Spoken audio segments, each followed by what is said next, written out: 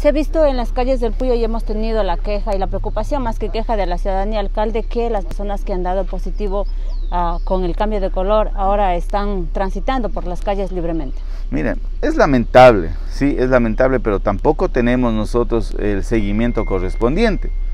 Ahora se nos viene un problema, un problema adicional, el centro de aislamiento temporal. Uh -huh. Yo realmente no entiendo, sí, hasta ahora no entiendo qué es lo que pasa. Primero con la ciudadanía, que se opone a todo, a absolutamente todo. Tenemos que ser solidarios porque en el momento que Dios no quiera, ustedes, yo, cualquiera de los ciudadanos, se contagien, ahí sí a lo mejor van a exigir un centro de aislamiento temporal cuando no lo están permitiendo. El propietario de la hostería Chacaspi ha comprado un biodigestor, mejor dicho, compró de manera inmediata un biodigestor. Nuestros compañeros técnicos, los profesionales, trabajaron en el tema de instalación del biodigestor. No, ahora vuelta salen con el cuento de que no, que el biodigestor es muy pequeño y que necesitan un más grande.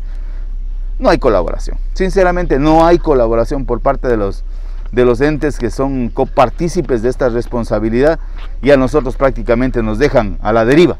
Sí, a la deriva. No será solamente de aplicar el tema de aislar a la gente porque tienen una disposición a nivel nacional. A ver, ahí tiene que eh, también sí, tiene que también, debemos tener la colaboración por parte del COE provincial.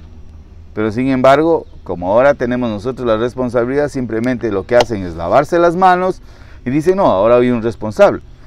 Perfecto, nosotros somos responsables. ¿Y qué apoyo tenemos del resto de instituciones? Entonces, Ministerio de Salud Pública, Secretaría de Riesgos.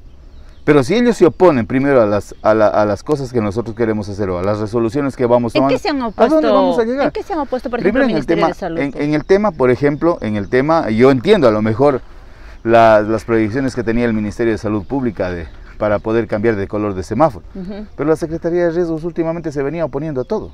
El delegado se venía oponiendo a todas las cosas que estábamos haciendo del, dentro del COE cantonal. ¿Hacia dónde vamos a llegar? ¿Cómo vamos a avanzar? ¿A dónde queremos ir? ¿Cómo vamos a salir de este problema? Del problema vamos a salir juntos, del problema tenemos que salir unidos. Uh -huh. Pero si no hay la colaboración, no hay el apoyo, ¿qué queremos hacer? ¿Cómo queremos verle a Pastaza? Respuesta de parte del Ministerio de Salud Pública y Gestión de Riesgos de no todavía eh, hacer el cambio, eh, ese ha sido su voto en contra. ¿A eso se refiere usted, alcalde? A ver, en el momento que ellos se opusieron, especialmente la Secretaría de Riesgos no ha manifestado eso. Sí, simplemente eh, que votan en contra, sí, votan en contra de la moción y lamentablemente no podemos hacer nada. Pero como lo digo, eh, hay la presión también uh -huh. y, y, nosotros tenemos que combatir ahora no solamente la, la, crisis sanitaria, hay una crisis que viene detrás de esto y que está afectando mucho más que incluso la misma crisis sanitaria, como lo es la crisis económica. Uh -huh. Y cómo, cómo nosotros combatimos a la crisis económica a través de esto, uh -huh. a través de la generación de obra pública. Alcalde, ¿para cuándo estará entonces previsto el tema del centro de aislamiento temporal? Estamos a la espera, no hemos tenido todavía ninguna respuesta por parte de los, de los organismos pertinentes.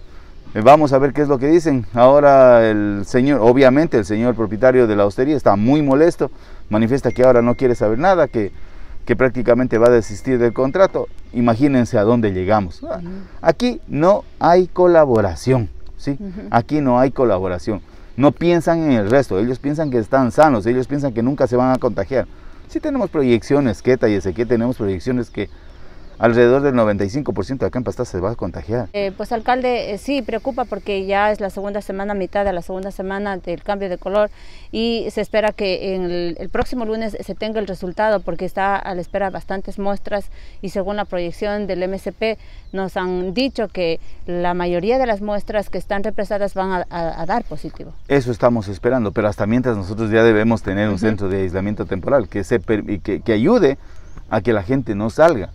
¿Sí? no sea irresponsable y salga a las calles como que no tuviera nada, como que no pasara nada, incluso corriendo el riesgo de, de, de, de contagiar al resto de gente. Uh -huh. Entonces aspiramos de que ya nos emitan un informe de manera urgente a ver qué es lo que pasa con el centro de aislamiento temporal, sino buscar una solución.